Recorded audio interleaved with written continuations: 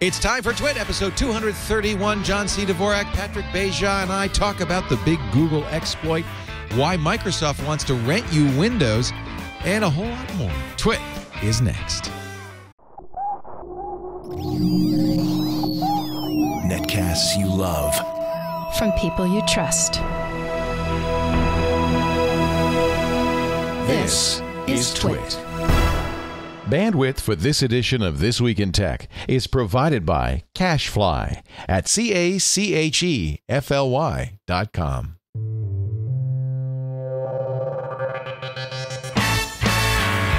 This is Twit, This Week in Tech, episode 231 for January 18th, 2010.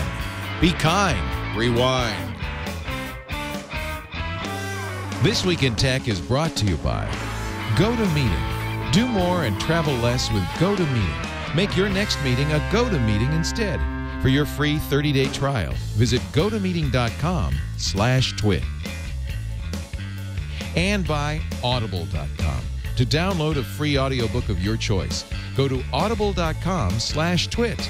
And don't forget to follow Audible on Twitter at audible underscore com. And by Carbonite, the leader in online backup. Back up your PC or Mac off-site, securely, and automatically. For a free trial offer, plus two free months with purchase, go to carbonite.com. Offer code TWIT.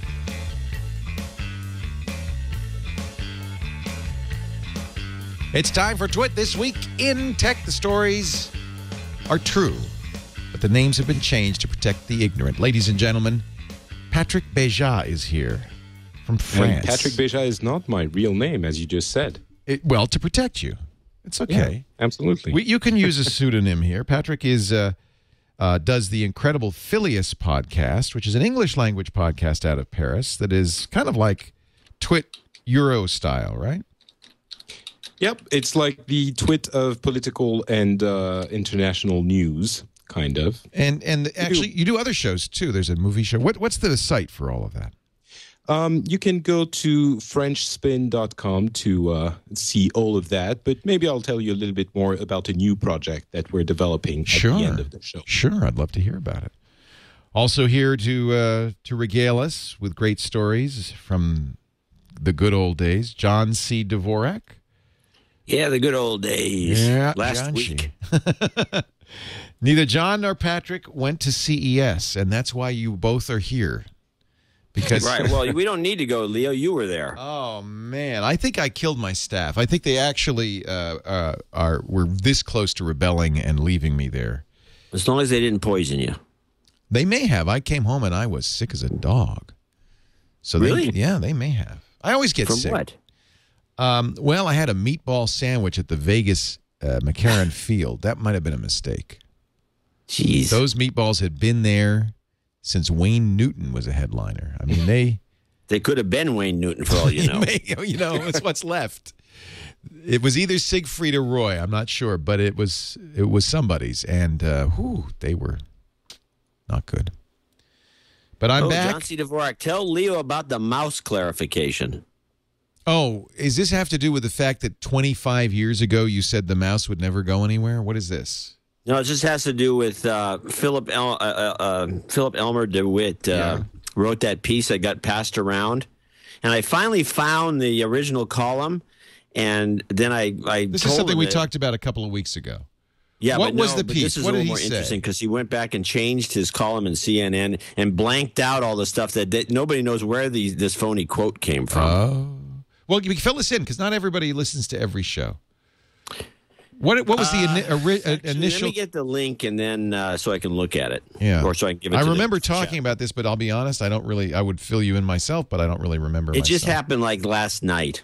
So Philip Elmer DeWitt is a uh, writer. He was Time. He worked at Time magazine. Covers the Macintosh. Uh, I don't know if he's still at Time magazine. I think he maybe still works for. He must still work for Fortune CNN because he went back and changed the column last night. So is this Microsoft upstages Apple's tablet? Is Fortune's Philip Elmer DeWitt nuts? That story? Today's No, proof that there's always someone who doesn't get it comes in the form of Fortune's usually much more reliable Philip Elmer DeWitt under a laugh-inducing headline video Microsoft upstages Apple's tablet. Elmer DeWitt writes Steve Ballmer's keynote at the CES show in Vegas ran for more than an hour and a quarter. But what got the most attention from the press gathered to watch it were the three minutes Microsoft CEO spent talking about his answer to the tablet computer Apple is expected to release in less than three weeks. That's just It was if if that was Microsoft's answer, we don't want to know the question. Virtually everyone on the planet who saw Ballmer's presentation saw it the same way, except for Phil. Elmer DeWitt writes in a subtle dig at his competitors in Cupertino. He demo, demoed the HP Slate with an Amazon Kindle version of Stephanie Miller's Twilight. The book's cover shows a pair of hands cradling an apple. that's. Uh, Is that what you're talking about, John, right. or is this another thing he got wrong? No, this here. Google. you know, I just had Steve. Ballmer's keynote at the Consumer Electronics Show in Vegas Wednesday ran for more than an hour and a quarter. But the press went. Here it is. Here it is. Google De- DeWitt Dvorak, D E W I T T Dvorak, and it's about this eighth story down, January 1984. How critics reviewed the Mac. Oh, he. This is when he's talking about you. Yeah. Hmm. Now, if you see, he's changed the column, and I thank him for doing this. By the way, So this is this is a, another uh, column. You know, it is the uh, 25th anniversary of the uh, Apple ad in the Super Bowl, which Right. was uh, 1984, January 22nd, 1984. So he wrote a column in Fortune, uh, and he's in which he says, in, in you know, anticipating the anniversary, I have some choice quotes from the first wave of critical reviews of the Macintosh. And I've scrolled down. You know, Byte says the Mac brings us one step closer to the ideal of computer as appliance. Creative computing, John Anderson, you know, said, you know, won't multitask. You can't use a Mac away from a desk. It's slow, not, not enough RAM. Bill Gates says anyone who could write a good application on a 128K Mac deserves a medal. But he quoted he quoted you. But see, that's gone. no, it's San Francisco Examiner, John C. Dvorak. Keep going. It's in there. There it is. Now he's got some stuff struck out. Yeah, this is all bogus. Somebody made up. This is not a quote from you? No, that's why it's all xed out. The only thing I ever said was the Macintosh uses an experimental pointing device called a mouse. There's no evidence that people want to use these things. That's Quite all famous. I said. I didn't say I don't want one of these newfangled devices. Then this is what they said you said. Yeah. And I'll say it in the voice they want you to be saying it in. The nature of the personal computer is simply not fully understood by companies like Apple or anyone else for that matter. Apple makes the arrogant assumption of thinking that it knows what you want and need. Unfortunately, leaves the why out of the equation, as in, why would I want this? I don't want one of the. This is the tech grouch. I don't want one of these newfangled devices. I think I the also tech think Crush it's might say completely that. accurate. It- Apple Apple does make the assumption Yeah, that, that it knows that what part's you want accurate. and need. That's completely Now, true. John, did you did you get a Mac early on? I had one right from the beginning. Yeah. In fact, I still have one of the uh, 128s that have all the signatures inside the box. Oh, that's worth something now. They Yeah, had probably. everybody who was on the Mac team sign the uh, mold, and then Right. and then they made the mold.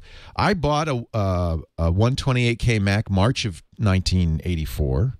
Little after this review came, out, a month after this review came out, I remember going to Macy's is where I got it because I had a Macy's charge card and it was two thousand five hundred dollars, and I Wow. plunked down the plastic and I probably paid for that thing for ten years. Uh, and y- you know what? It in in hindsight, it was it was it was the beginning of the Kool Aid, right? Because you, you know you couldn't copy a floppy without fifty swaps. You couldn't save because you had the MacWrite disk in there. You'd have to create a document, then eject the program disk, save it, then put the program disk back in. There was no button to eject. You had to eject in software, something Apple still does. Well, actually, I guess there's an eject button now on them. So, what do you think now? Uh, here we are 25 years later. Will the Mac make it, John? Uh, it has a good shot at it. How about the mouse? Any the feature mouse, I, by the way, I just wrote a column. I think it was in PC Magazine, and I think you know, I think the mouse may eventually, with these touchscreen machines coming out, at some point, the mouse may be dead, and this whole point moot. wow. Now, by the way, You could retroactively declare yourself correct. from that column in terms of That's true. bogus PR than anything I've ever done, including my dinner with IBM, which had a lot of legs. That's a very good point. Or you're singing Barney, uh, which apparently has one The Barney thing is well, that's in a different league. 1.2 million views on YouTube from John's three years ago recording a Barney doll singing I Love You in his bathtub, and that's it. that's it. No editing, no lighting. Why bother? Why bother? I don't even know why we do this show. I'm just going to record my stuffed animals singing and I'm done. so let's talk about the big story of the week.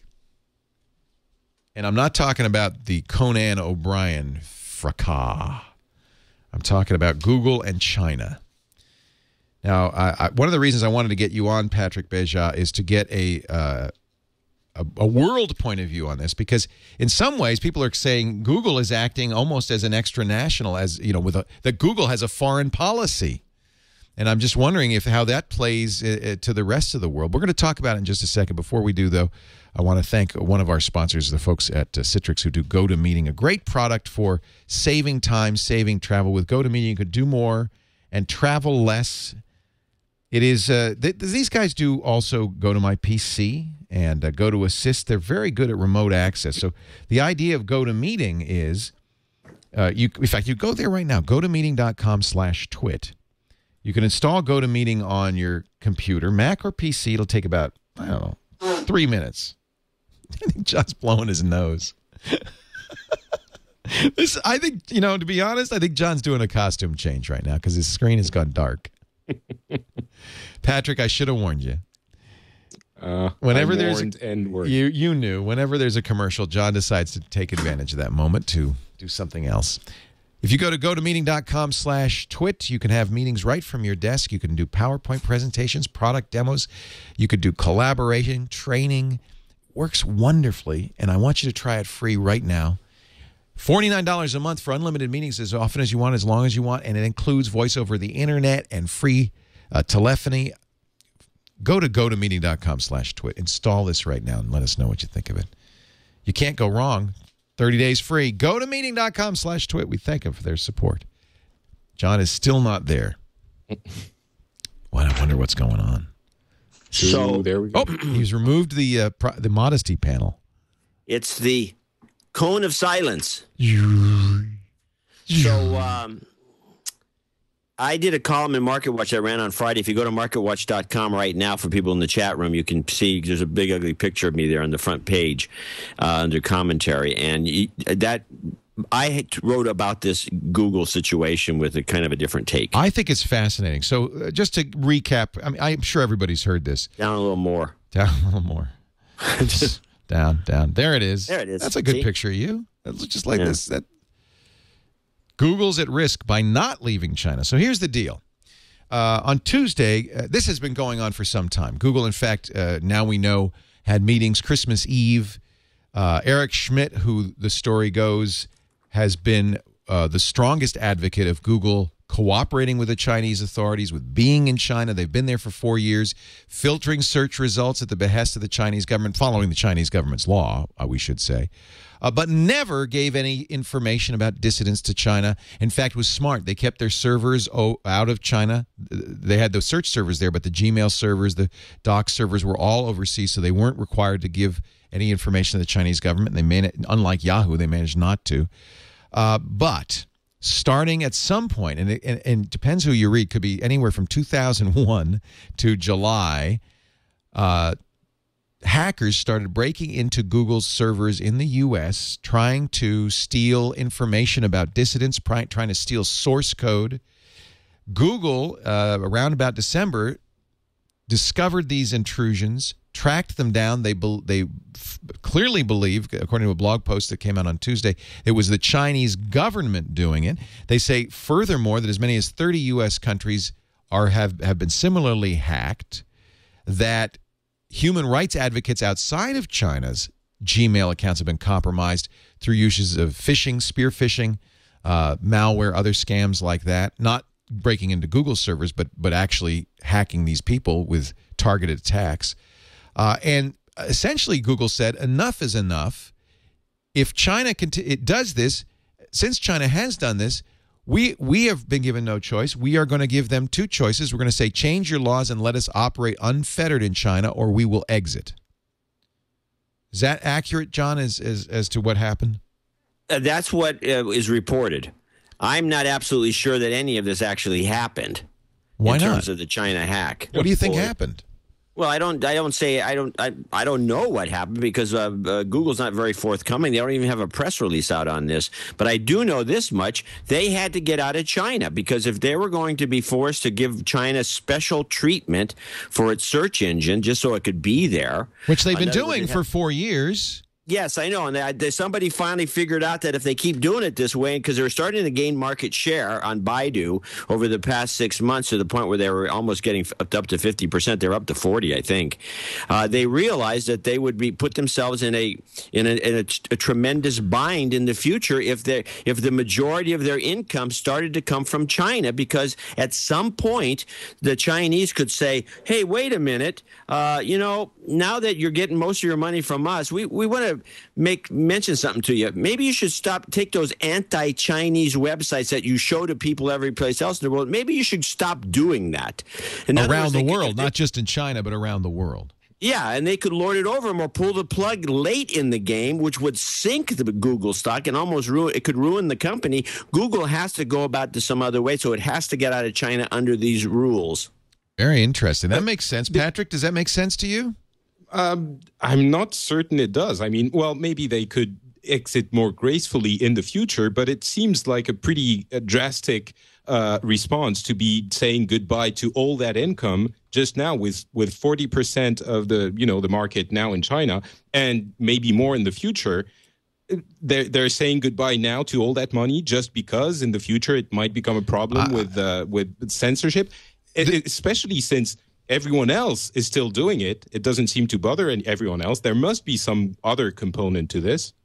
You know, I, I think that there were internal divisions at Google. I mean, every uh, Ken Auletta and others are saying that Eric Schmidt always wanted to be in China, continued to want to be in China, even at that Christmas Eve um, uh, meeting.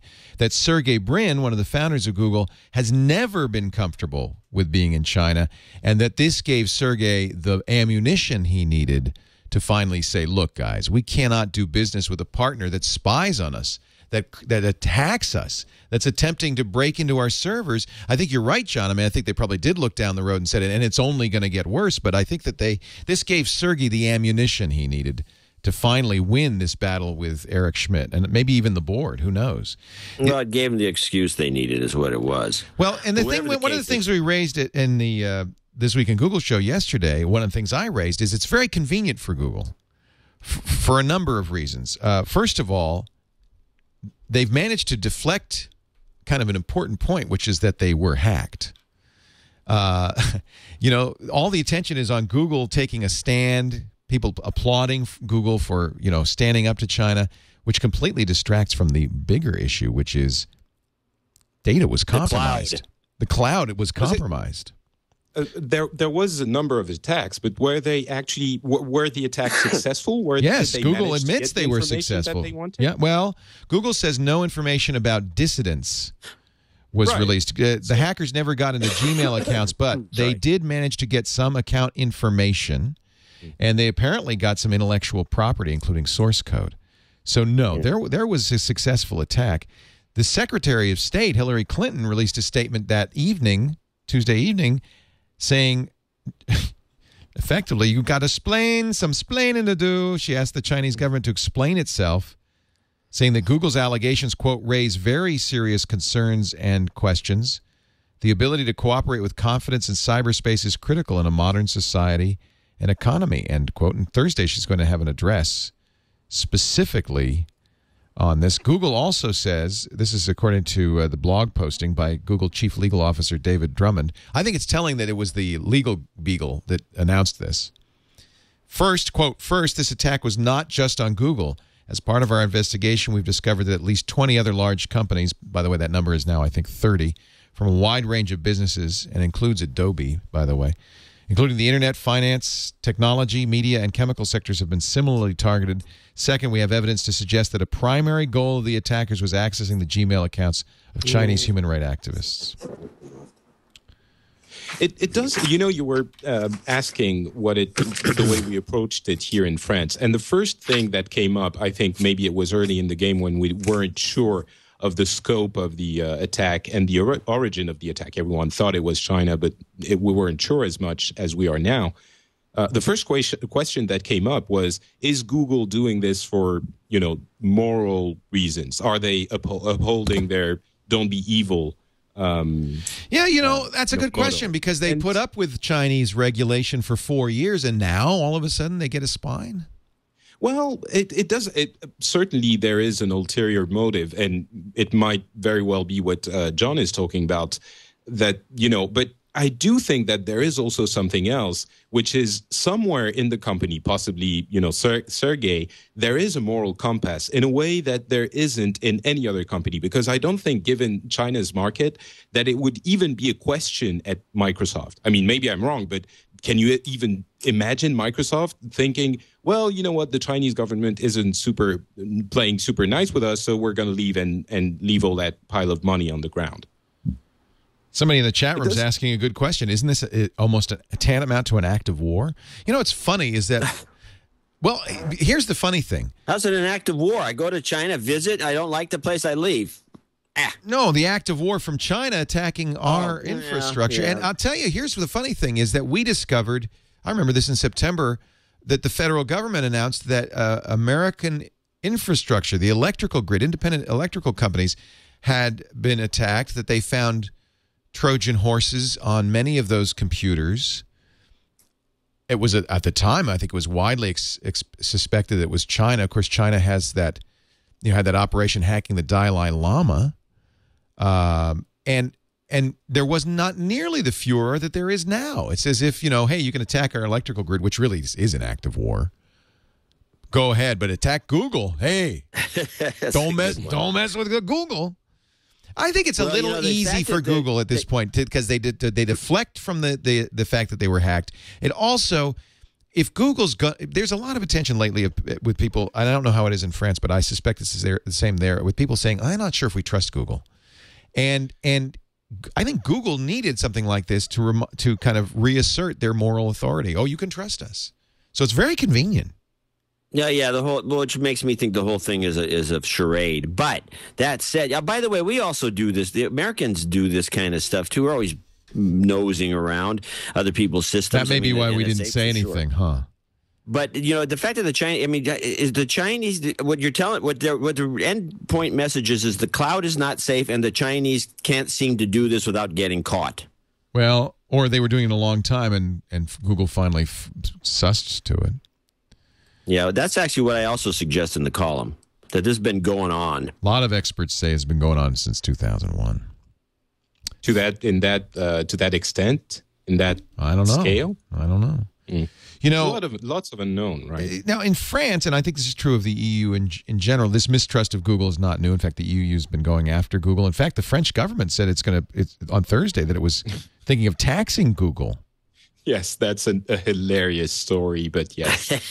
um, if now this is this is this is okay. Now I'm not one of those Nicholas guys that says France socialist bad, but this is a little bit of a stereotype. The French government is considering a Google tax that would help level the playing field between internet portals that offer free content and the Okay, music, so film, it's and publishing industries that lost revenue because of it.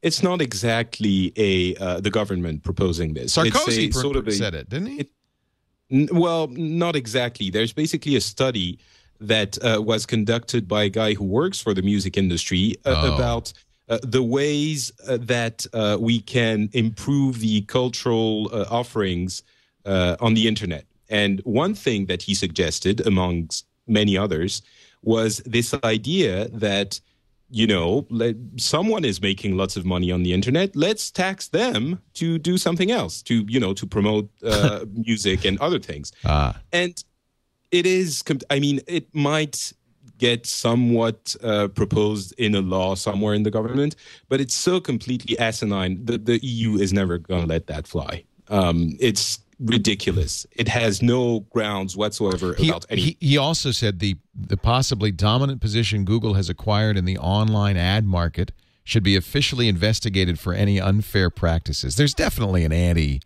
Google, and I would suppose it's anti US sentiment. Oh, they hate us. No, I think it is. It's this guy who is a uh, music industry guy who is anti. that was Sarko. That was your And- president talking. That, okay, he is not the super biggest fan of the internet either. Let's just you know, he's the guy who pushed for the three strikes law. Um, but Which went the in, which went into effect this week as well. Yes, it, it did. It did. Yeah, and it, it's a catastrophe. It's a disaster. But um, it's never going to be actually enforceable. Did you see that story about uh, the the three strikes law thing? They actually, for their logo, through a series of missteps, ended up uh, using illegally a font that didn't belong to them. So I mean the, the, the the the poster for the law The- broke copyright law. For- the logo for the government body uh, called uh, Hadopi uh, was designed by a firm who used a font that belongs to uh, Orange, you know, the the, uh, the telecom phone company, right? And they designed the logo with that font. And when they the, the logo came out, it was like, well, wait a Strike second, one. you pay for that? No. so this is a disaster. The the Google tax thing is never. It's pr- most probably not even constitutional in the concept. Why would you tax Google on the internet and Right. not people? You know, the the Right. ad companies in uh, in the street who display ads on on posters and banners and stuff like that. It's never going to go. Well, I would. I think it's never going to go through. But it's it it pretty much shows you how uh, ridiculous uh, we are when we go about thinking of these things, and more than France and, and and socialism, I think it shows how people in this country and probably others don't understand the way it works. They don't know what this internet thing is, and they still don't know how they can make money out of it. So they're thinking, let's take the money Tax from it. the guy who actually makes money. Tax Yeah. it. Why not? I like to see a per click tax. Just it's not much, just a quarter quarter cent per click, one centime, un centime per click. Yeah. Do the rest of the show with that accent. No. Patrick will But stun going me. Oh, I'm used to it. Yeah, it. yeah. But going going back to the Google thing, uh, do, I have a question. Uh, do you guys does this Google getting out of China for whatever reason, if it's an excuse, if it's a good you know uh, point at this uh, at this point to to get out for various reasons, does it make you like Google more, or does it not change your opinion? Oh or no, it makes me like Google more. I think, uh, in fact, I would say if I uh, you polled the blogosphere on Tuesday, it was a resounding applause for Google. Right on, Google. You're doing the right, Right, thing. it's the Go right for thing it, to do, Google. right? I, I can't get behind that kind of thinking personally. I like Google just the way I like Google. I don't like them more. Well, don't you think you though? don't This is Google. And, I have by to the say, way, and and and if a better search engine came along, I'd bail out in a minute. But now, now, first of all, let me underscore: this is more than search. When Google pulls out of China, it's Google Docs, it's Google Mail, it's Google Voice, it's all of the it's all of the Google tools. Now, you may say, yeah, Google's only a, you know a ha- less than half of the search market, but let me tell you, the intelligentsia, the university students, they in in in the cities of China, they use these Google tools heavily. That's why China's breaking into Gmail. They're trying to get the dissidents' email accounts. So that's a big deal. These people, uh, you know, that's a. What if Google pulled out of the U.S.? What if you couldn't use Google Maps anymore? Would you? Would, would it be a problem, John? No, it wouldn't be a problem. Why would it be a You'd- problem? you'd use MapQuest? Microsoft Maps. Okay, in in that case, John, let me ask you this: um, What does Google at this point with this getting out of China? With China was basically the only thorn in their their side that people could point at, and saying they're not doing that right. They're, they're not following their "Don't be evil" motto. Everything else they're doing is either you know open source, data liberation front. Everything they're doing is trying to be open and and uh, and you know the way they should be doing things. Is there anything that you could tell Google except you know the big spooky thing we don't trust Google because they have all our info which I agree with but what else could they be doing to earn your trust and love They're doing fine. They've got my trust and love. I don't like the. I don't do the doc stuff, and I don't do. I use the Google search engine. It's, it works great. But I mean, is, is there anything more they could do to impress me? You might want to ask that question. I don't know. I think the Nexus phone is kind of neat, except it's so slippery. Ah, it's not that slippery. I heard you talking about it being slippery. It's no more slippery than the iPhone. The iPhone was slippery I've too. dropped it a couple of times already. I have too, but the, I dropped the iPhone the first day I got it. You just have to hold on tight. You can, see, that's the problem with the Nexus. When you hold on tight, it you touch the screen, and because it doesn't have dual touch or whatever, it shorts it out, and you can't do anything. It does, by the So way. you have to hold it weird like this. No, no, no. The operating system does have multi-touch. The phone hardware has multi-touch.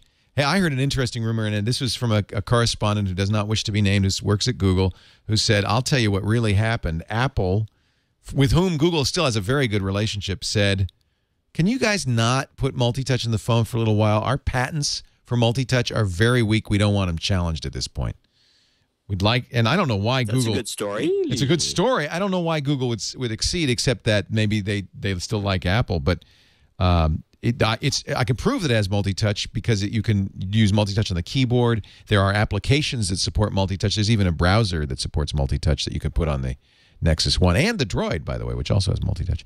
I love this phone, John. I've gave I I have officially replaced my iPhone with the with the Nexus One. You've Really? actually moved over. You dropped the iPhone for this thing. Yeah, and I love it. So why Huh. did they only sell twenty thousand?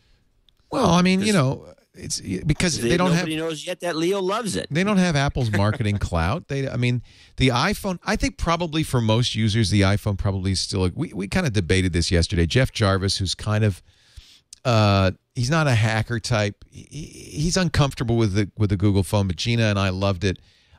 I think it's for people who don't want to mess with their phone. The iPhone's very straightforward, very simple. But if you want to have a, you know, uh, if you want to have folders on your desktop, or you want to have any kind of configuration capabilities, if you want to have an open store, if you want to have multitasking, this phone it's so fast. It's a gigahertz I like. No, I'm not saying I don't like the phone. I just don't like the fact that it's slippery. A Get a case. and- well, like when I get a case, I'll be a happy camper. I Now, ordered a case right away. I ordered a silicone case, but the iPhone's just as slippery. It really is.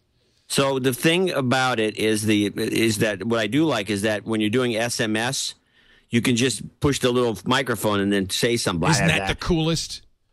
and then you And don't have to deal with It works uh, great. Here, I'll do it. typing. And the other thing, and it's pretty, and it's amazingly accurate. And the other thing I do like about it, I like the turn by turn. It's very good. Yeah, it's got built-in turn-by-turn GPS, free. Free.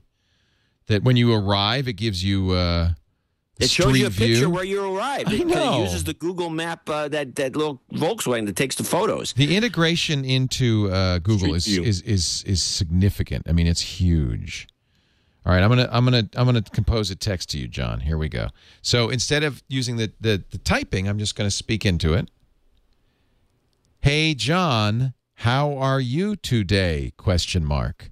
I am fine. Period. Let's see if it did that all right here. What are you laughing at? I'm sorry, the it camera on. You could probably like do it in a French, robot. actually. hey, John, how? Oh, look, it did "Are you too?" It did it like in t- like I'm a kid, like texting. and I don't know Well, why. at- At least it figured out your personality, Leo. Yeah. No, I've been using it for uh, all week. Uh, well, not all week. I got back from uh, CES on Sunday, so yeah, I guess all week. Um, for and I and I started doing the texting in the last couple of days using the dictation. I love it. Now it's not good for driving because you some you know have to fiddle with it sometimes, but uh, you know do a little editing. But I just I think this phone is spectacular in so many ways. I'm just really happy with it. Great camera, great video. so will you be still be happy with it when the fourth iPhone comes out? Talk, talk to me then. What do you figure? No, Leo's fickle. No, talk to me then. Well, look, no, my job is not to be loyal. That's not my job to be loyal to a platform or a device. He's fickle. He just jumps on whatever bandwagon is right driving by. I try it all, and if something, I kept trying uh, iPhone replacements. I did the Palm Pre, the Storm, the Instinct, uh, even the Droid, and I never replaced the iPhone until this came along. I'm not fickle. I go with the best. I don't have loyalty to a device because my job is to tell you what the best is, and I and I don't even think it's the I best. don't want to hear anymore. So, God, laying it on thick. That's not. That's that's what it is. That's isn't that your job? So uh, I went back. You know, I still I like the Nexus phone, but here's another problem I have with it. So I did I did uh, a, kind of a stress test with it, and I cranked it way up Somebody in the chat room just said, "Be careful, Dvorak. He'll pull a Mike Arrington on you." Screw you, Dvorak. so, uh, By the so way, I did that stress video still has one one thousandth the number of views of Barney singing in your bathtub. So I have. So here's the deal. Maybe yeah, I you know should this is make going to gall Barney you for weeks. This for Barney thing. Yeah. But anyway, the uh, it, I, I loaded up. I put the Wi-Fi on. I put the GPS on. I, I loaded it up to the gills with with everything. It lasted th- three and a half hours under full load, which I thought was kind of nice. But just under just average use, it still drops dead after a day. The, the old Nokia N seventy E seventy one N seventy one, which one it is, that I normal my normal regular phone, that thing goes on for a week without having to recharge, and I'm always forgetting to Give, charge. give it thing. up, John. No, no smartphone's going to do that. I mean, it's got an OLED screen, which is a little bit more uh, economical, but it's not. No smartphone is going to go a week anymore. No phone's going to go a week anymore. That's just old school, man. You, you charge it every night. What's wrong with that? I I agree. I, I forget. you forget. so Well, here's John. to. What I do is okay. I have a dresser where when I take off my clothes, I put my wallet and my keys on the dresser, and I plug in my phone, and then the next morning it's all ready to go for me. What we need is wireless uh, recharging, like the the. Well, there is such a thing. There is such a thing. I mean, you can you can Yeah. buy third party uh, things. I, I I'm don't old ha- and I, I'm grumpy and I forget. I don't really have a problem with uh, with that. I kind of expect that. You know, any smartphone's going to have to be recharged. It's it's, it's got to get through a day. That's kind of the minimum. And this, you know, I've this been is about that it doesn't get through the day. You know, it's about the same as the pre and the iPhone. They're all kind of like that, depending on how you use it. When you know, when you get a new phone, you turn on all the buttons. You do what Dvorak did. But under normal use, I find it's exactly uh, a day. But but again, I you know I plug it in when I get to work. I, mean, I don't I don't. It's not an issue for me, and it has an All right, well, interchangeable me know battery. You don't like that? Get a new get a second battery. Well, at least you can do that. Yeah. Yeah. I mean, I, I just, I, I really think this is finally the uh, Android operating system coming of age. I guess that's my point. With 2.1, it has come of age. I liked the Droid a lot. I thought it was this close, and Nexus One gets gets it right there. I was very impressed, um, and I think that I would like to see uh, this do well. I mean, I do have some advocacy, uh, a little bit of juice for it because if this phone does well, there'll be more applications for it. It is an Oh open. Oh wait, I know what it is. What? Actually, This fishing. week in Nexus. No, no, no. We already do it this week. Another Google. podcast No, like no. you're not doing enough. If if I were going to do a podcast, I would do a cell phone podcast. You're right. I think that that's something that we could probably do. But I, you know, and you're absolutely right. I'm going to see what happens in March. Hey, you know what? January 26th, a week from Tuesday. If Apple announces something spectacular that, that's better than this, then I'll replace this. I go with whatever's the best today. That's not Is it fickle. 26th or 27 in Well, no one knows exactly. There's, it's ah. all rumor. Apple hasn't said anything, but we will be there, whatever day it is. Well, I hope Google brings the Nexus phone in France so that we can tax it. another opportunity for revenue. I don't think I don't think fickle's the right word. I try them all. I buy them all. I don't get free versions. I try them all, and uh, and if something's better, I tell you it's better. That's all. And if it's not, I set it aside. And I've been using the iPhone for three years, which is a measure of its success. But finally, I found something that is, I would say, as good as. For depends on who you are. As I said, if uh, you know, uh, do you use an iPhone yet, John? No, you're still a Nokia guy. I use the Nokia, and then I also use the Nexus, and uh, I have to decide. I mean, I I would use an iPhone, but I, I hate AT and T to such an extreme that I refuse to, and I I have, have principles. okay, this is this is what worries me about the uh, rise of the Google phone. You can install an application from anywhere, Well- which everyone has been saying, yes, this is the way we should do it. It's like you know a computer, you can do that. You don't need to go through the app store, and we don't need to. We have how many tens of millions of zombie computers working for whatever you know ghost network whoever thought that was a good idea who wants to replicate this on phones on everyone this is going to happen you know it's going to happen Guess what? if, you know android is It already happened. well there you go the uh, the Android marketplace to be a, a developer for uh, Android, you near, ne- merely need to sign up, and uh, that's it. There and there's no approval process. Unlike Apple, there's no approval process at all. It's open, and I think that that's a strength. I like However, it's also a security risk. Um, a person with the handle Droid09 uploaded into the Android market and was there for a day or two a program called First Tech Credit Union. If you were um, a customer of the First Tech Credit Union, you might have downloaded it saying, oh, great, that my bank has put up an Android application. According to a warning on the credit union site, the app was malware. We recently learned that a fraudster developed a rogue Android smartphone app. It creates a shell of mobile banking apps that tries to gain access to a customer's financial information, said the bank. Please note this attack didn't target First Tech accounts. Accessing your account from your phone's browser still is completely secure. The app is down.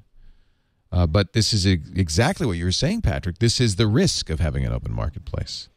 And this is bad enough but you can also operate outside of the of the uh, android market right if you put a link on a website you can go there through the phone and Yes. install the app Now, to Right? do that, you have to go in the settings on the phone and say, I am willing, and it gives you a risk, a security warning, and everything. I am willing Okay. to, buy, to get applications from third parties. But that's ironic because it's not, it doesn't take much to put one on the marketplace. So it's obviously. So, uh, yeah, you're given openness. I think probably I would I would expect, and I would I think it needs to be that Google or somebody makes kind of a vetted marketplace where these are secure. But I like Yeah, the choice, and I think that's the key. You don't have a choice really unless you jailbreak the iPhone, which is not only an onerous process, it reduces its reliability and causes all sorts of other issues. That's true. But you do I think you do need a sort of uh, you know, label approved, proven safe, whatever, reviewed uh, for the app so that people right. know that you can, you know, and maybe even only let people download approved apps if they don't change that setting in the in the menu. Um, b- because if you don't, pretty much you're going to start needing an antivirus and a firewall on your phone and stuff like that. It's going to be horrible. There has been a, a there have been a lot of complaints about uh, customer service. You know, um, there are people who got the uh, Google phone, the Nexus One, and discovered that T-Mobile sucked. Shock, you know, which it does apparently uh, in some areas. It works quite well here. I'm actually getting 3G reliably. I haven't dropped a single call, which I can't say uh, is the case for the iPhone here. Um, if you buy, I have to say, if you if you buy um, a uh, T-Mobile version of the Nexus One, not only will you face potential early termination fees from T-Mobile, but Google has its own equipment recovery fee, three hundred fifty dollars if you cancel within the first hundred twenty days. It's not so good. What was this? Can you back this up a a minute? If you do what with T-Mobile? According to Engadget, okay, I'm going to read the story. Ross Miller posted it on Engadget January 12th. Here's another reason to consider going the unlocked route with the Nexus One, which is what I did, by the way, because I want to be able to take it to Europe and so forth. In addition to having the AT&T non 3G and international GSM option, as a number of people have noticed, Google has its own early termination fee equivalent here called the equipment recovery fee. In the terms of sale, they say they will charge you, and I don't know if they actually are doing it, $350 if you cancel within the first 120 days. It, this is in addition to any fees imposed by the carrier. Why T- would anybody not just buy an unlocked phone then? Yeah, because T-Mobile's got its $200 ETF. So, So where is this coming from? Why it, do other carriers do that no, as well? no, we do in the states. There, all carriers have an ETF, which is usually one hundred seventy-five dollars or more. Um, that is because they're subsidizing the phone. So this is for people Yeah, who buy and the you buy- subsidized. And by the way, once you terminate, you should be able to get an unlock code for any phone you have. That's the law, but uh, very rarely uh, in practice. Well, nobody ever asked to do Well, it because they don't right. get the fact that the phone's locked in the first place. Right. But I have But a we do number of have- phones that oh, I've uh, well, I've usually given to the kids eventually, but that you know that are past their due date, and you just call them up and they give you the unlock code. And you unlock it, the c- phone, you can do anything with it after that. Yeah, this one is this one's unlocked. It was five hundred twenty nine dollars, but it's unlocked, and then there's and then you can get a month to month T-Mobile account, so you don't even have an ETF from T-Mobile. So that I thought was a good, That's- attractive. That's kind of my, like how it is in Europe. Yeah, exactly. That's exactly the way it is in Europe. And you do have an ETF for the carrier, but Right. you don't have an ETF from the manufacturer. Th- That's, unheard of. I've never heard of that Yeah. before. Hmm. That's, That's very just strange. bizarre. And I don't know if Google's enforcing it. Lots of complaints, though, on the boards about Google's lack of customer support. People were having trouble with T Mobile, have no one to talk to. Um, Apparently, you oh. can't call anyone at Google. You have to send an email, right? Right. they don't have phones. They don't use phones. You use Google Voice. Yeah. And that's one which, thing I love way, about this. Is, is one of those things I do like from Google quite a bit. I wish they would open this up because this is one of the most, the strongest selling points for the Nexus One. Maybe this is why they haven't sold that many, but uh, because you still can't, you can get an invite maybe if somebody you know has Google Voice, but they, there's no way other way that I know of to get a Google Voice account. I happen to have one because I was a Grand Central customer. And this works with Google Voice to the point that you replace the voicemail with Google Voice. You can even replace all the calling with Google Voice if you want. I have it set so the international calls go through Google Voice, which is a lot cheaper than T-Mobile. And then uh, I don't use T-Mobile's voicemail. I use Google Voice, so all the messages come to my phone, just like visual voicemail, plus text, which is something Apple doesn't do. So I, you know, I think that's another selling point. Unfortunately, you have to have somebody. Somebody emailed me and said, "Well, that's nice, but who has Google Voice?" And not everybody does, alas. Um, I have It's Google not that Voice. you know. and it's a Ask US around. Most people you can get it. There's a, there's invites all over Are the there? place. I bought a few on Yeah, eBay actually, for like three fifty, three dollars and fifty cents. That's a good I got deal. a I got an invite and got a, a, a US number, and now there's talk of uh, Google Voice maybe coming to the uh, to Europe, and I'm afraid I'm going to be stuck with my US number stuck to my account, and I just opened it No, to no. test it. no, they have a ten dollar fee. You can change it to anything you want. Ah, thank you, John. You just saved my Google Voice life. What when you use your Google Voice, is it as if you were calling from the U.S.? I'm I'm actually never using it. I did it twice to um, to test it, but um, That's cool. yeah, it it's uh, I, I'm really hoping they bring it to to Europe, but apparently it's not in the books for right now. They've been talking about it recently a little bit, but uh, yeah, that's definitely one of the things that would put a phone over you know the iPhone if a Oh, service it's like this was available. Apparently, they're telling me in the chat room that uh, somebody said, "Oh, I just went to you know voice.google.com, requested an invitation, I got one within a week." So I guess they are a little bit more liberal with these now. It's, yeah, they it- just needed to get their capacity up. It's an amazing product. I mean, we don't we don't even have any long distance service anymore. We just use Google Voice. The whole family does. Right. And uh, because Google Voice is a long distance service of sorts that's free, and there goes my AT and T. I don't have to deal with them anymore. The only negative I've noticed, uh, have you noticed this? There's some lag in the phone calls. There's a lot of latency. Nope. Okay, maybe this. I've just me. never noticed It's that. It's like ever. a half second to a second. Okay. Nope. Mm-mm. Quality's good. Okay, this is this is what I'm talking about. What other company has improved our lives as much as it seems like I'm in love with Google, which uh, admittedly I'm a little bit, but they have really changed our lives a lot more than most companies in the past, you know, 5 maybe even to 10 years. Oh, I'd say so. In fact, you could make a case in the states that uh, both AT and T and Verizon recently this week announced uh, a drop in the costs of their all-in-one programs. You know, all-you-can-eat programs, and I think that, that you can trace it directly to the fact that T-Mobile introduced this um, plan. You know, this this. Uh, uh, all you can eat plan, very inexpensive plans that are month to month. And I think that you can say that they did that because they knew they were getting the Google phone, and this is basically a plan for the Google phone. So in a way, you can indirectly say that not Google is absolutely making a strong impact on the on the wireless industry in the U.S. Prices are going down because of them. Good. Article in Mobile Beat about the chip in the Nexus One. It's the Audience A1026 voice processor chip. This is a an additional chip that apparently makes a huge difference in the quality. It's a DSP in the quality of the phone calls. Um, the real time processing brings up the human voice, brings down the background noise, brings down digital echoes. Um, it's so they actually Yes. built in a voice processing chip in this. And by It's the got way, a microphone in the back of the phone. yeah, it's got two microphones. Yeah, So that's it- basically it can like do a, a that. noise reduction system that works like it does for these uh, high-end um, uh, headphones, right? right, right. There's a microphone hole there, and uh, I don't, I don't know if that's a That's a speaker. That's this is the speaker here, and then there's a microphone on the bottom. So I guess this is picking up background noise. That's kind of that's a clever design. I haven't noticed the sound sound quality one way or the other because I very rarely make phone calls.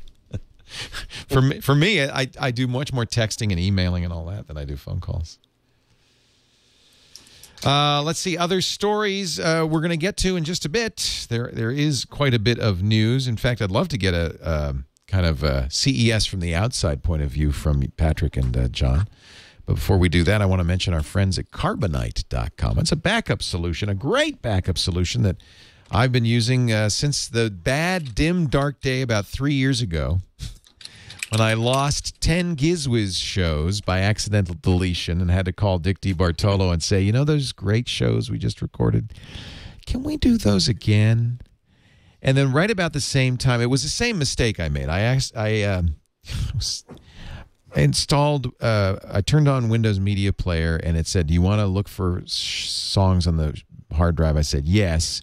It, it cataloged them all. And then I thought it was like iTunes, where if I deleted the names of the songs, it wouldn't delete the songs, except that it did. So not only did I lose 10 Gizwizzes, but I also lost. it happened twice. An interview uh, for Floss Weekly. We, I, I lost it once. I called the guy back. We did it again. I lost it again. I had to send him a fruit basket. I felt so bad, and we did it a third time. I'm not going to say names, but it was after that that I said, "Look, I got to have a solution so that I don't lose podcasts anymore." And I discovered Carbonite.com. I've been using it ever since. So what happens? You can go there right now and install it. You go to Carbonite, C A R B O N I T E.com. You don't need a credit card. Just use the coupon code TWIT, and you can install it. You'll be able to try it free for 15 days. Immediately, it starts backing up your data. It uses AES 256 bit encryption. You choose the key so no one can get into it, scrambles it up, then uses 128 bit SSL for extra security to upload it to their servers. Now, it's using your bandwidth. So, depending on how much data you have, how fast your connection is, how much you're using the computer, it could take a little while to get that data up there. But once it's up there, it's automatically backing up all those precious documents your, your, uh, your personal files uh, your email, your photos. You don't have to worry, by the way, about size. I get I back up gigabytes as long as it's on the internal hard drive in your computer. You have unlimited backup, and it's less than five bucks a month. It's a great deal. I want you to try Carbonite free right now. Go to c a r b o n i t e dot com. This is great for a laptop. C A R B O N I T E dot com. Use the offer code Leo. You'll get two weeks to try it for free. Mac and Windows, by the way. And after you try, and I do, I, I really want you to try it first. Make sure it's something that fits your needs. If you decide to buy, we're going to give you two months free with the offer code TWIT. So use that offer code TWIT and give Carbonite a try. It's a great backup solution. It's not enough to back up locally, you got to back up offsite.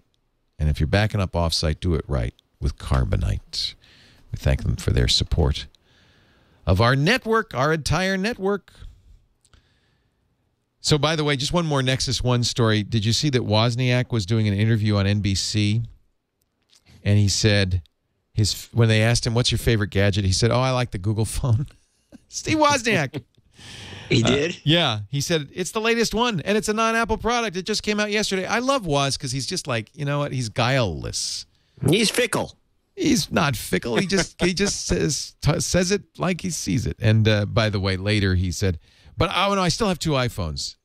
Because he got a little bit of, uh, I'm sure, heat. I'm sure Steve said, "Was dude." He says This is he. what we need up at the cottage, by the way, what I'm showing you. what's that? A case of this. is that a Bordeaux Chateau. Lynch bagel Lunch bags. lunch bags? Is that a good Bordeaux? Oh, yeah. Oh yeah. Well, well, uh, uh, don't drink it. Whatever you do, keep a cork in it, Dvorak, because I want to try. I, you keep telling me how great Bordeaux's are, and I don't know if I've ever had a great Bordeaux. Patrick, Oh, you're You've had a couple of them. though. All those Leoville wines are the great. Leovilles are good. Okay, okay, they were very good. Uh, and they're your wine. I mean, they've got your name on them. I know. I should drink more Leoville. It's the name of my blog.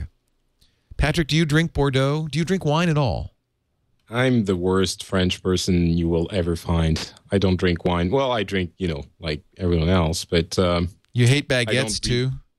I hate the baguettes. come on. Baguettes, I mean, that's unavoidable. I hate the baguette. It is delicious. disgusting bread. No, you love it. But yeah, who could not love a baguette? Yes, when it's just warm, it comes out of the oven in the morning when you go get it at the bakery. Mm, that and a little chèvre chaud, and you're set. That's it. I'm ready. And by the way, Saucisson. meatloaf and Bordeaux go together great. Do they? Somebody asked. We, we, we did a meatloaf. Uh, our our Munchcast show was about meatloaf right before Twit. Now I'm so, what other news items do we have here? Well, there was this thing in Haiti. Did you see? Now, Twitter went a crazy with the uh, Haiti thing. In fact, it's funny because two days before, Twitter, uh, Ev Williams announced that Twitter had had its busiest day ever, just for no apparent reason. There was no big news story or anything, just growth. And then, um, and he said, and tomorrow will be even bigger. And then the earthquake happens, and of course, Twitter goes crazy. There's emergency messages on Twitter. I don't think there's a lot of twittering coming out of Haiti. Maybe some of the NGOs, but There's what a couple. some some of it and then what i thought was great was the immediate retweeting of you know text the word haiti to 90999 and and and uh, donate 10 bucks to the american red cross there was some misinformation that also got twittered like the, the phone companies are going to take a lot they none of the cellular companies were taking any cut out of that it all went straight to uh, the red cross and they this were is, at the beginning. Uh, were they charging for? Well, they were just taking the you know the charge for the message. oh all right. Some people said was cynical. And then I think uh, there was a comment on BOL this week. Someone said, "Well, when you send, you know, a check to a, a, a Yeah, you know, bank a takes a organization, cents, right. The, the no, but I mean the the the post office is not going to you know write off the price of That's the a stamp. good point. Yeah. In any case, I think that they wised up and they they they're not taking any any fee for that. And here's the great thing. So th- this is not the first time the Red Cross did this. In uh, in what was it 2000? When was uh, Katrina? 2004, 2005. They did it and raised two hundred thousand dollars. After the uh, Asian tsunami, they did it again, raised four hundred thousand dollars. To date, in uh, four or five days since the uh, terrible earthquake in Haiti, eleven million dollars. Went to eleven now. I thought Eleven. it was six, like it's two days. Eleven million dollars as of this morning. That's interesting. Well, I think it's, it says something. First of all, that people are texting more, right? More people are comfortable with that. I think Twitter has a lot to do with it. I have to think that the the word spread on Twitter. Um, and I did it. I, you know, I, I immediately did it. It's just so easy to do. So I, I, I think that that's kind of uh, encouraging. That's a good gimmick. The- Quite amazing. So, uh, the, the, the other amazing thing is that Twitter didn't go down at all. No. Yeah, something's yeah, going that's on more there. amazing than anything. We haven't had a Twitter is down story in a while. I think Twitter might be uh maybe they've solved this. Maybe they're reliable. Could it Looks be? like it anyway. Could it possibly be? Um, Microsoft says this can't be right that it's legal to rent Windows. yeah, this is the big They- story that broke last week. Yeah, they, they're going to start a new SKU, le- a rental SKU. That's comes out of nowhere. It's weird. Why would they even? Well, first of all, why, I don't even understand renting. Well, it's like rent. Do you remember the olden days when they used to have vinyl albums, and like nowadays with the DVD store, you go in and you rent the DVD. Oh, So like, make- you- but what? Wait, but I, what you rent? What? What? Like, okay, I'm going to go to the software store and rent Microsoft Word for the night. yeah. What do you mean? Yeah. Make sure you drop, bring it back after a couple of days. Don't forget to rewind. Who's going to rent Microsoft Word for a night? Get to rewind the disc. Oh yeah, I borrowed Windows 7 for the weekend. Babe, we had a great time. Now, you know what it's going to be? It's going to be for uh, companies that have projects that are going to take like a couple of months that they need to set up an office or, you know, a department for, and they need to rent the, the thing for a couple of months. And then they, I don't know, give it up or the uh, serial number deactivates or you can't use it in two locations at the same time. Actually, this doesn't make sense. I'm sorry. I don't get it it. makes no sense at all. But But a nice try. I have to think that what this really is is Microsoft's always kind of wanted to charge a monthly fee. That's what it's really all about. Right? They don't want to sell you software. They want you to really think of your software as a subscription. And is this kind of John, you think this is a way of getting that through? Well, yeah, you know, they may. I, think that's part of it. I think they want to get people into a different frame of mind, Yes, exactly. and then uh, turn it into the whatever the uh, Software is you know, this- this ephemeral. software as a service. Right. I think it's a huge blunder, by the way. You know, if Microsoft had its act together, every time something like this China attack on Google came around, Microsoft could make hay by saying, hey, if you were using shrink wrap, you wouldn't have a problem like this. I, I don't think anything. Microsoft wants to point attention out to its security uh, uh, issues, especially since I think one of the major exploits Oh, was yeah. uh, Internet Explorer based. this is how they cracked into all of these computers was through Aurora, the uh, well-known Microsoft flaw in Internet Explorer, and then That- another that one is in also present in seven and eight. It's not just a six thing, right? Yeah. Oh, you know, IE seven and eight. Yeah. Oh, yeah. It's in all of them. Hey, John, what happened? Your picture went away. Are you? It got. Yeah, people were complaining that it got too dark, and I think it's because of a setting I did, and I'm trying to go back and, and unset it. It's like the lights went out in your room. I thought. I thought it was just that the, the sun went down and it was getting dark. I can't see. can't see. Hey, so so now it turns how out mu- I'm not much is- getting anywhere with this with this trick of mine to fix it. No, let me let me call you back because once you once you do what you did, I don't think you can restart the video. I don't know. Can you? Okay, well, give me uh, one second to get to the tools. Put some clothes on, then turn on the lights. Okay. Oh wait a minute. Here he comes. He's coming back. Yeah, but see, I didn't get to go into the fix. Uh, yeah, you're still in the. Well, just you know, you could turn on a light. Is it? I, this, I'm, it's look, watch. I'm gonna turn a light, a really bright light on right now. Ready? yeah. That's nothing. Just so people understand, it looks like the warm glow of a fireplace across the room. I can leave this bright light on, I guess, but you know, I know what what the setting is. I know what I did wrong. All right. but- Well, go ahead. You, we, you, I'll tell you what. We could take a break. Everybody, you can go get a baguette and a glass of wine, Patrick. John can fiddle with his uh, settings. and I go base my meat. Go. Are you making dinner tonight, John? No, I'm just gonna eat. You- I'm gonna no. We did a. I, we just did a podcast about meatloaf, as I mentioned, and I am famished. I just it got my mouth. Do they eat meatloaf in France? Probably not. They probably turn their nose up at. It's called a terrine. Uh, Oh, a terrine. It's like pate. kind of. Yeah, kind of a little bit.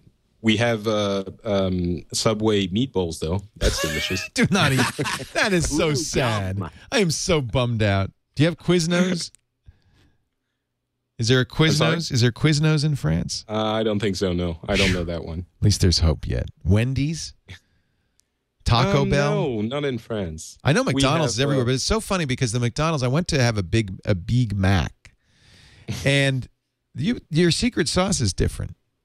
It, that it's, that is can't it? be. it's you know it can be. It's very the taste of a French Big Mac is nothing like it. I had one in Beijing. It's exactly like an American Big Mac. Exactly. In fact, you know what the Well, big that- the big fast food in China is Kentucky Fried Chicken. They love their KFC.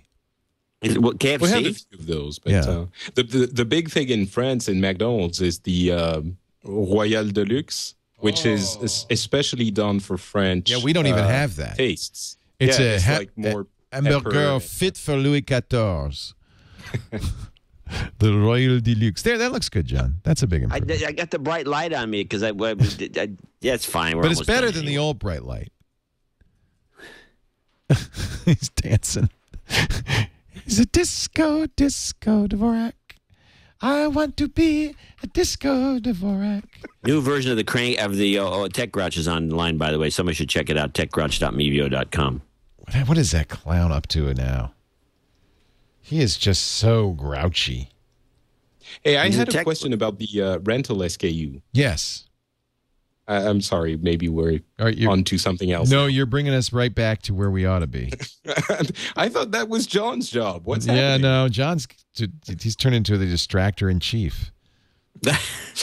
Uh, no, I just wanted to know if any of you guys, uh, either of you guys knew how much it was going to be. Wait a minute, I'm sorry. Hold on, hold on. Mevio seems to have snuck into our. Pro Health is the only feed. to protect against sensitivity and Wait a minute. areas. And the Stop. How do I stop that? There's no stop button. You can turn it off. There you go. There's, There's the Tech Tech Grouch. Grouch. Brought to you by Crest. Now that's weird. Wait a minute. A tooth. Does this? Does the toothpaste company know they're spence, They're sponsoring a guy with no teeth? Of course not. The guy has no teeth. So it's been reported that some teacher back in Arizona has hooked his computers from the school district up to look for aliens. Now they're claiming It cost the school district a million bucks for him to do this. They fired him. But who billed for the million? The aliens? Hey, Wait a minute. What is that hanging in his beard? That is not. That's the mic. That is not. That is not. How do you appe- mic a guy that is like not that? appetizing. That looks like there's a there's a chunk of food in your. Look at hey, it. the still's gonna blow up if you keep the heat that high. John, John, don't put the mic in the beard. You put the mic on the shirt, not in the beard. Just a you know a little technical Get tip. off the set. Truth be told, I was listening to that trance music on the iPhone. It wow, I had a trip. Got any suggestions for the show? Send a self-addressed stamp beaver to techgrouch at mevio.com.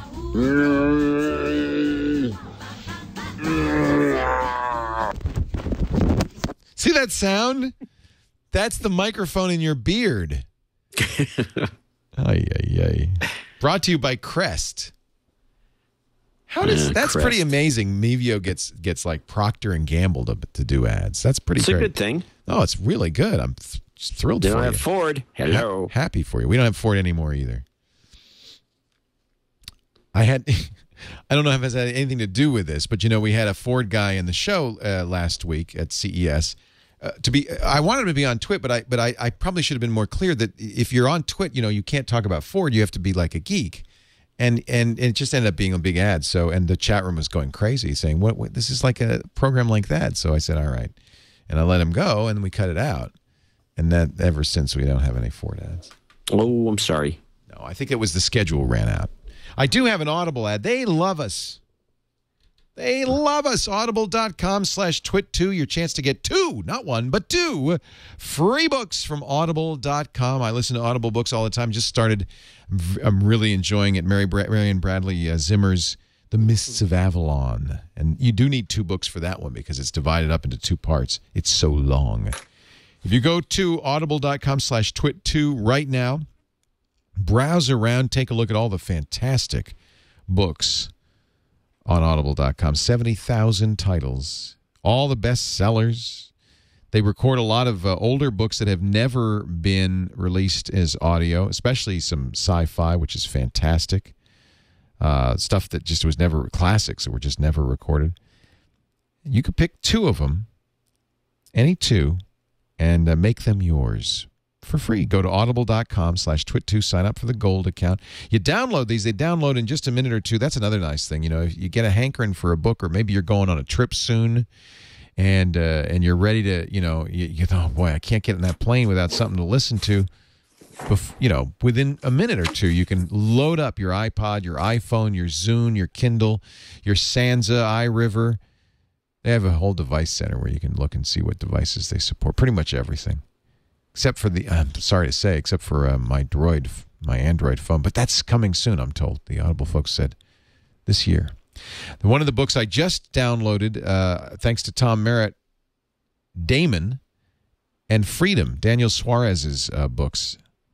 Uh, Tom says they're really great. Daemon is a story of a computer demon uh, that solves a murder pretty wild stuff. Great choices here. Audible.com slash twit2. Give them a try. You're going to love it. And we thank them so much for their support of our. You know who loves show. Audible? Who loves Audible? Mothers. Really? Mothers love Audible. I, I got my mom an iPod a few years ago, and then I got her an Audible account. She, it- it's the kind of thing that mothers say, I don't need it. You know, it's I don't really get it. I don't know what it's for. I don't need it. I'm I'm fine.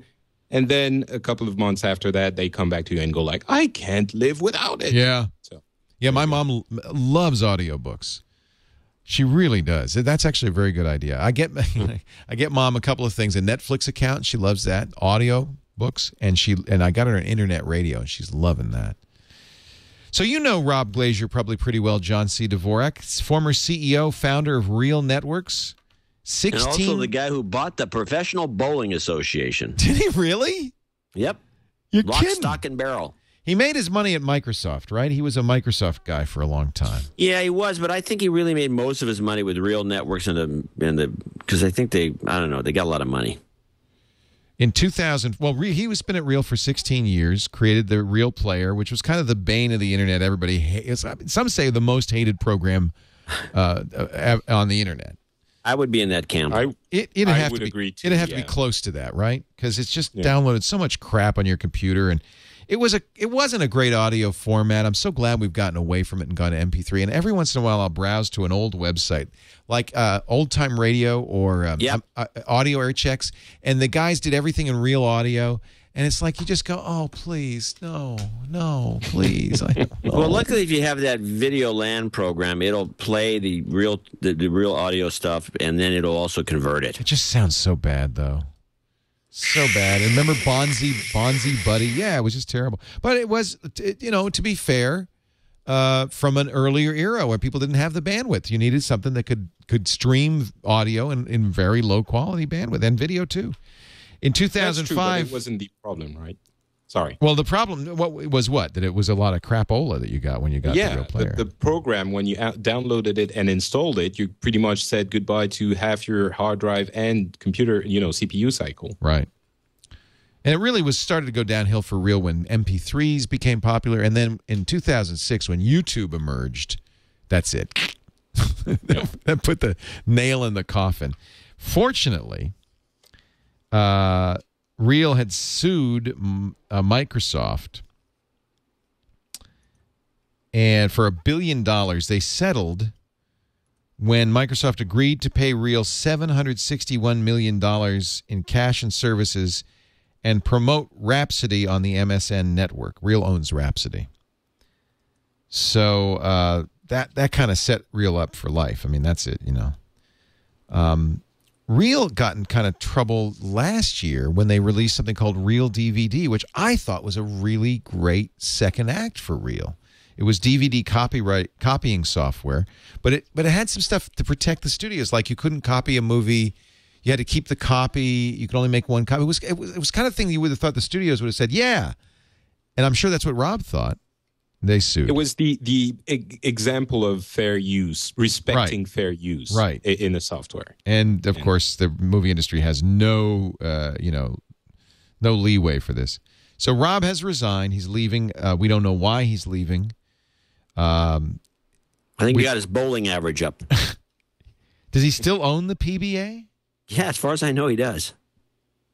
wow that's interesting Him and a few partners, they got together. They bought it for next to nothing. well sure how much could the pba be worth Well, you know, at one point in the some time ago, In the think during the era when Grant's Tomb was the number one tourist attraction, uh, the PBA uh, bowling was the most popular sport on television. i don't see you as a bowler i see you as a candlepin kind of guy you know, I've done candle pins.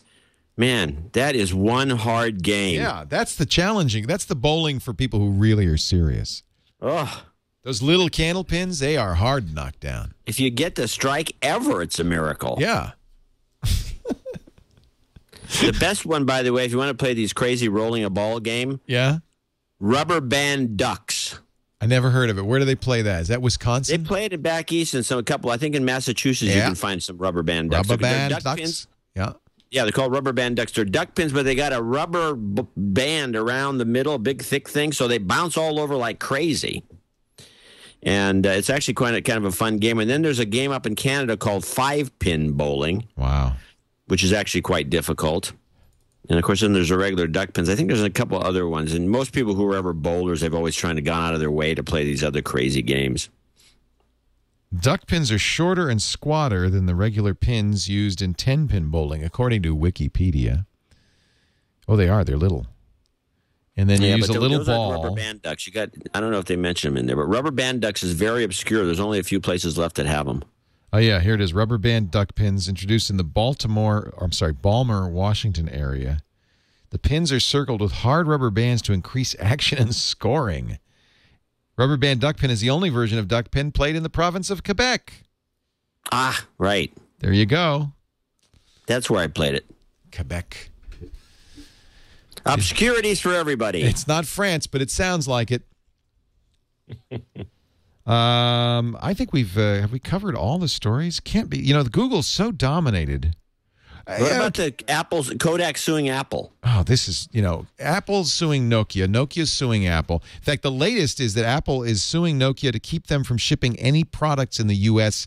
at all. yeah, the good luck with that. At all. It's like, no, sorry, uh, you, you're no longer allowed. And now Kodak sues Apple and RIM saying the technologies that you use to display images on your digital cameras and computers violates our patent. That's uh, ridiculous. Well, Well, wait a minute, though. Wait a minute. I don't because- know enough, but Wait the a minute. other- Listen who's but- paying royalties. yeah, that's what I was going to say. Yeah. LG, Motorola, Nokia, Samsung, and Sony Ericsson all pay Kodak royalties. And and for for what? For technology for previewing different uh, uh, images of different resolutions, and another as ridiculous. I mean, okay, it, the patent thing is completely out of control. Although I don't know, maybe there is some. It is. Is it? It's, it's, it's. This is a U.S. issue, though, isn't it? I mean, you don't have these problems in France. Uh, it doesn't feel like it. No, Yeah. Not We that- Well, sue at the drop of the hat. Kodak, an imaging company, inv- really essentially invented the digital camera and a lot of other stuff. So Ah. they've tons of patents. Ah. I I just love how in America, if you if you you know you're having trouble competing, well, just sue them. You could It just works. It's a, it's Well, a but- second choice, you know. The uh, origin of it is the patents that are being awarded so um, you know, Right. with no basis, right? Right. I mean, uh, this is this goes back to that Google phone story about uh, Apple asking Google, please don't put multi-touch in. We don't want to have to defend this patent because the multi-touch patent that Apple has is absurd. I mean, there's there's you know people have been looking at multi-touch for years, long before Apple even considered it. Yep.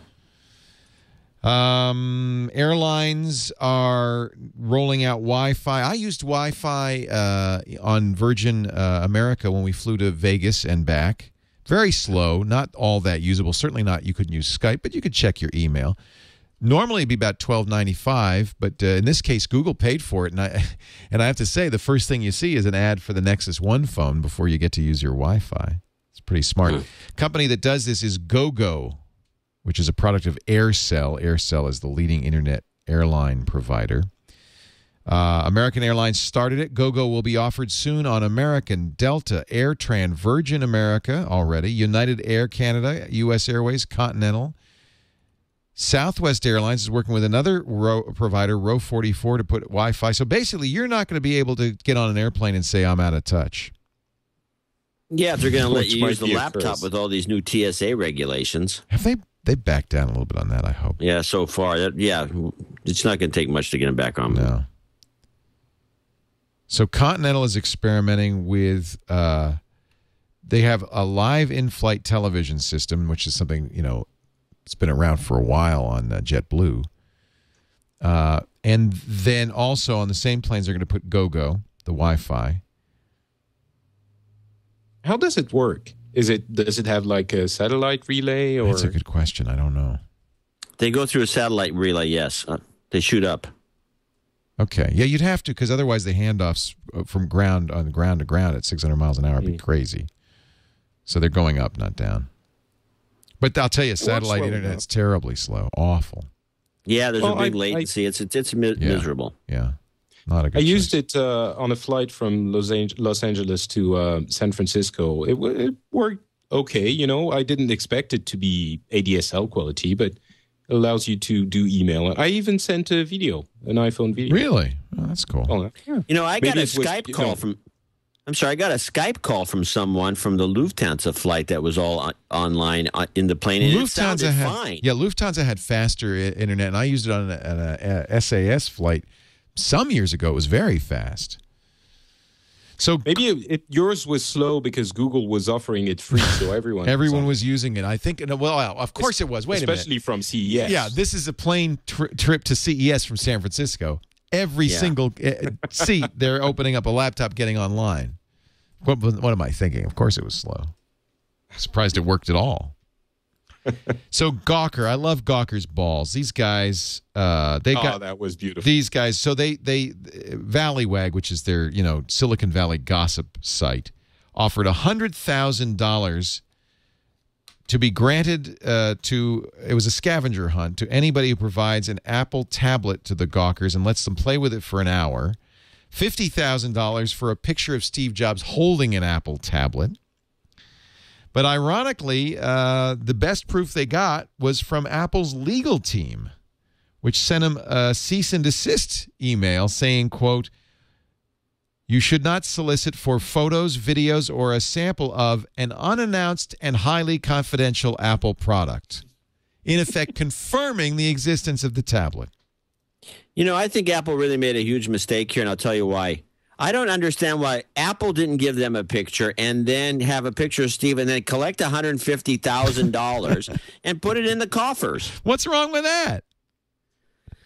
You know, So they get a lot of free publicity. They kind of gave the uh, lawyers at Apple a second prize of sending him a DVD of Legally Blonde 2, a $25 Zune Marketplace gift card, and a fabulous set of steak knives.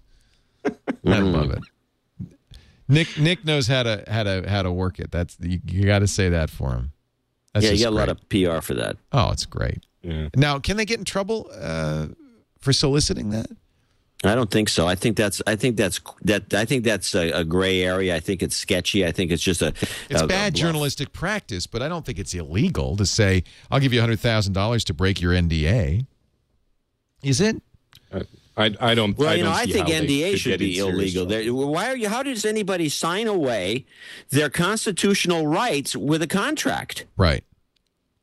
I mean, if, if an NDA is legal, why can't I just go to Africa and find some, let's say, black people, and have them sign away their constitutional rights in a contract? Come work and for they- me. Then they're they're slaves. Yeah, come work for me. I won't pay you. You you you uh. signed the deal. It's in the shrink wrap. I mean, it, it just when is this going to end? It's bogus. McDonald's is now offering free Wi-Fi in its restaurants. They did this before, but I guess it's back. So We've now had with your this in France forever. now with your what is it? Your Grande Royale? Uh, the Free Royal Wi-Fi. Deluxe Royale Deluxe. Deluxe Royale. It sounds much better when you say it that way. Well, you get that, Oh, yeah, and it's so it's just such a nice place to do your computing because of the, the, All the beautiful grease. aromas. You're, know, I, I swear, even even a hard plastic computer, even an aluminum body unibody computer can absorb hamburger odor in half an hour. We have we'll have people, and nobody I, nobody in this room, but we'll I'll have people uh, come in here after they go down the road and have breakfast. We have a little place that has hash browns, and and they just reek of hash browns, and and, and I just go, "You were at Hallie's, weren't you?" And they go, "Yeah." I said, "Yeah, I could smell it." And but McDonald's is so much worse. Oh, you're making me hungry now. Oh, you want a deluxe royale? It sounds so good. Doesn't that sound good? That's why we like it Oh, because yeah, it, in our language it sounds really good. Everything sounds better in French. it just all sounds. Even a French fry sounds better in French. Frite. Frites, pommes frites. So, uh, yes, absolutely. Patrick, tell us, do what is your super secret new project? Uh, well, it's not really super secret, but um, a, a few friends, uh, podcasters, and myself, we've been sort of uh, getting together for a while. I tried to rally the pod- podcasting energies in France uh, for a little while, and uh, a few of them actually are making it better and faster than I am. And uh, we're sort of getting together and putting um, a portal for uh, video podcasts and another one for uh, audio podcasts. Is it called Uh, so Votre just the Tube? it's called No Watch. Uh, NoWatch.tv for videos and NoWatch.fm for audio. So it's just a splash page for the audio now. But uh, the first version, very uh, preliminary version of the website, is up for the video thing. And uh, NoWatch.tv is the place to go if you want uh, any French podcast from now on. Uh, Oh dear! I, I think you've got some American, uh, you know, French in here, Frenglish. It says no watch.tv, incredible web shows. Attention, super production. You you you read it exactly right. That's super production. and I see it says geeks, geeks à tetesh. What is that? I'm not sure what you mean. Well, here under Scuds, geeks Scuds? Oh, geek- à tête, geek. geeks à tête chercheux, chercheuse. Yeah. Geek à tête chercheuse. It's basically uh, homing. Uh, Homing pigeon. de- Homing head. ge- Geeks. Searching head. Because of Ge- yeah. Geeks search for head. something like that. Yes, that's exactly what it is. Scuds so there's TV. a few, uh, This a few cool. shows over there. This is um, good. That are pretty good, uh, good quality shows, and uh, we're going to go forward from there. And uh, together, Is it? It's uh, it's all in nine- French though, right? Yes, absolutely. It's a hub. It's a hub for French uh, uh, web shows, and uh, Absolutement. So does Geek Absolument. Inc. podcast mean Yep. mean Geek- what the same thing in French as it means in English? it does. Geek Inc. is a, a podcast about uh, Geek geek, culture uh, cool. in French, and it's uh, super fun and super cool. Cool. Well, I think that's good. Is there is there a, uh, a a large podcasting community, or is this kind of nascent? Well, it it really was uh, just me until a year ago.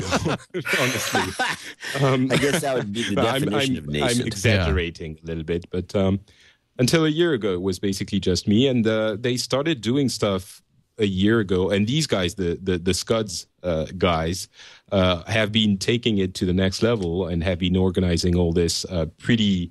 Uh, pretty well. Uh, so now we're all uh, together Kevin in this, uh, Rose. It looks just like Diggnation, uh, only Alex got really old. Oh, this is like a they're they're a bunch of uh, kind of famous people in France, and they're just doing a spoof intro for the other. It ones. is a If- spoof of Diggnation, though. It oh well, you know the the the, the seminal formula of a podcast is uh, two guys in a in a couch now, right? I guess it is. But Kevin Kevin would be So honored by that. That's great. There's uh there's a little bit of this on some shows. Some uh, have a different formula, um, but um, yeah, it's basically uh, the beginning of a wonderful uh, adventure of podcasting. NoWatch.tv. That's great. Congratulations. That's wonderful. Thanks. Yeah, the aim is really to to get NoWatch.tv and NoWatch.fm uh, to be the two central hubs for podcasting. So hopefully it will go well. We'll see. Congratulations. Well done, Patrick. And of course, still FrenchSpin.com for Patrick's Absolutely. podcasts in English, the Phileas Club, And in and, French, yeah. and in French, in both. There are a couple of in, uh, in English, a couple in French. Uh, How would you say like the tech grouch in French? I, I'm afraid I, I would anger him, so I wouldn't translate it. Le jongleur du technologie, or Something like that. yeah, I don't know. technology. Le fou. Le hmm, grouch is difficult to to translate. yeah, because nobody's grouchy in France. We're all happy. no, there's no such thing as a Grincheux. no, Okay, there you go. rude. It'd be- you could use the word rude. There's a there's a few rude people in France. I've No, understood. I love French. I love It would be France. I the, love the the French. tech rude. the tech. Um, no, it would be grincheux, le, le, le, tech, le technophile grincheux or something like I like that. that. Wow, that sounds John. Sounds great. Yeah, that's what you should be, John. I think you should change the name. I didn't say you. I mean, whoever the grouch might be. No, the grouch. He's a cousin, distant cousin. distant cousin with with a looks like a squirrel in his beard. John C. Dvorak is at channeldvorak.com. He's also uh, the host of um, numerous shows, including Cranky Geeks at crankygeeks.tv, uh, No Agenda, and Tech 5. Somebody said Yeah, I should ask you what Adam Curry thought about this whole China Google thing. Uh, we know we didn't talk the China Google thing. Yeah. We talked mostly about Haiti today, and they'll be posting later today. On the, Oh, he uh, does have a theory on the Haiti thing. Oh yeah. Does he think Pat Robertson caused it? No, that's the Pat Robertson thing was quite funny. We did go over that quite Oh, a bit. man. Somebody mentioned to me that the problem with the Pat Robertson thing is that somebody said Hades. Oh, he got confused. He thought Haiti just- was it's a joke. Hades. It's a joke. So, um, No, but no, is there a conspiracy Adam believes that theory? There's an earthquake machine, and they aimed it at Haiti specifically. and then I doubled up on the theory, saying that we are actually going to take over the country. Oh, it's about time. That's, That's a- what my argument was. Haiti's been a thorn in our side for generations. It's just been a it's been a nuisance. Now we can Ever go in there and since take the Papa place over. Doc Duvalier, Yeah, Papa Doc, Baby Doc. Baby Doc, Mama Uncle Doc. You know that there's been a, a few issues with uh, the Americans taking uh, I know. responsibility, taking the responsibility of the we took over the runway. Yeah, yeah. and they, uh, you So a know, lot of people are saying that the U.S. is going to stay. I have Anyway, to think. Oh, yeah, well, it we was are. at the quote invitation of the Haitian government, such as it is. But I have to think that when Secretary Hillary Clinton flies into a country in such turmoil, that she causes far more problems than she solves. Imagine. I mean, that runway must have been closed for hours to to, to secure it, to make sure she had a quick getaway. That's not a good idea. She has to check in on the property she has in northern Haiti. They're going to build a bunch of hotels up there, and she's going to be uh, she's in part of the deal. It's the next uh, Cuba. Yeah, exactly. You should listen to the show, Leo. We, we, we, you and I would agree on this one. Uh, All except the earthquake machine. I don't think we perfected that technology, but other than that, it was. You know, I wouldn't. You know, I- wouldn't be surprised. We might look back on this and say, "Yeah, that was the beginning." Yeah. John, thank you. Patrick, thank you. Thank you all for watching. You can watch this show. We do it live every Sunday at uh, 3 p.m. Pacific, 6 p.m. Eastern. Uh, or that's around, I think, 22. It's midnight uh, UTC, something like that.